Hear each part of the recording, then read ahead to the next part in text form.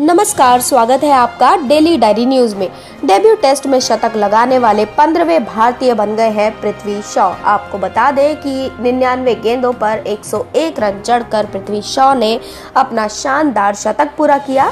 Test debut में शानदार शतक जड़ने के बाद पृथ्वी शॉ टेस्ट डेब्यू में शतक लगाने वाले पंद्रहवें भारतीय बल्लेबाज बन गए हैं। ऐसे में पृथ्वी शॉ के नाम की गूंज पूरे स्टेडियम में गूंज गई और विराट कोहली भी शॉ के प्रदर्शन से काफ़ी खुश नज़र आए।